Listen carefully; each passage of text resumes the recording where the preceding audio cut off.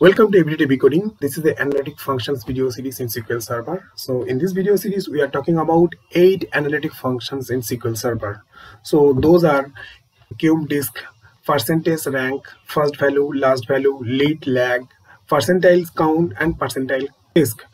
I will create single separate video for each of those functions. So basically analytic functions in SQL Server operate on the set of rows. Those functions return a group of rows that can be further analyzed.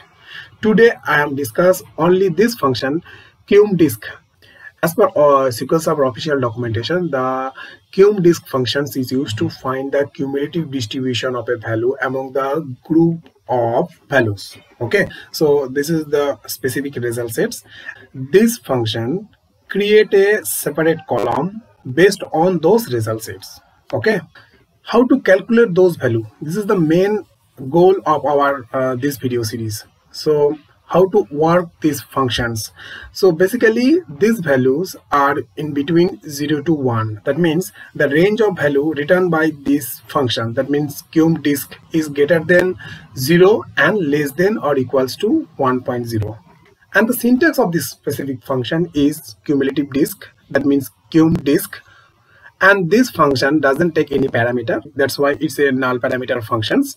And we are using over and this over clause taking two things as a parameter. First is parameter partition by clause and order by clause. So partition by clause is optional for these functions. Basically the formula of this cumulative distribution function is that it will divided the row number by total number of rows. This first record sets row number is 1 and I am divided this one by 12 so 12 what is 12 12 is the total number of rows in this particular record sets. So 1 divided by 12 we will get this particular value.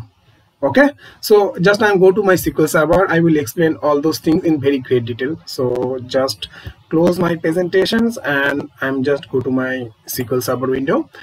So in a sql server window you can see this uh, i have a sample table that means bikes table. So these bikes tables belongs to this database db samples.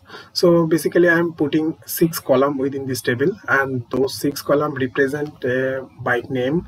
Who is the manufacturer of this bike and the model number of this bike and in which year those bikes are launched and the price of this bike and the type of this bike so if i am execute these functions you always you obviously know that this cumulative disk function obviously create a separate row and this cumulative disk function calculate the value of this particular row. So how to calculate this value? So basically you can see this partition I'm using partition by type that means this total record set divided by two partitions that means first partition is normal type of bike and the second partition after the seventh row we will see that there is the another partition. So two record sets are created. So what are the maximum row number of each record sets? That means if i am looking this first record set that i am not selecting the maximum row number is 7 and if i am looking for next record set that means the maximum row number is 1 2 3 4 5 there is a for total number of row is 5 uh, just uh, just i'm open my calculator so typing calc okay so this calculator i'm using to calculate those specific value how to calculate this. So first result set have a seven number of rows. So i will define the row number divided by total number of rows. So one number of the, if I am looking the first row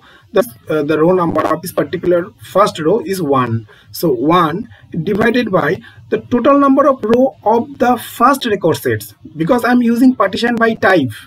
The, in first record sets the maximum row number is 7 so I am divided by 7 so when I uh, calculate this divide value I am getting 0.14 and this value is nothing but this value.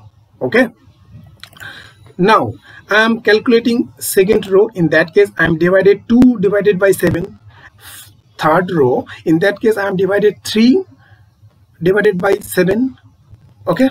So just I show you. 3 divided by 7 equals to 0.42 that means you can see this. 0.4285 0.8285 714 714 that the exact value.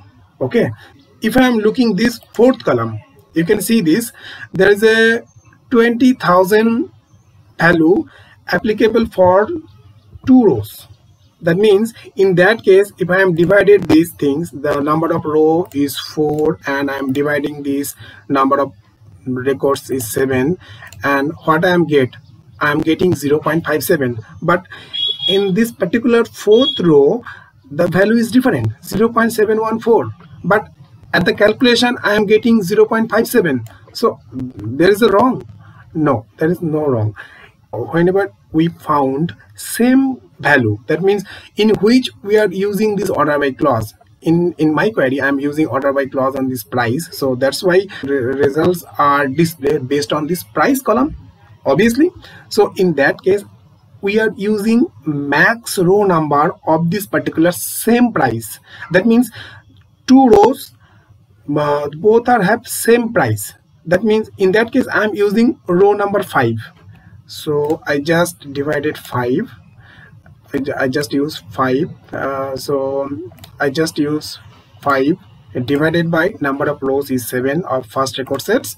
And we are getting this value 0 0.714 so exactly this value the, the row number 4 and row number 5 price values are same. So we are calculating the max row number of the same price value that means 5 and we are dividing 5 divided by number of rows the in my case is 7 and we are getting this value and we are applying this value in between all those rows both have uh, those have same price value okay so this is the basically uh, cumulative distribution functions. And we are applying uh, uh, not only for this uh, partition by clause we can also remove this partition by clause.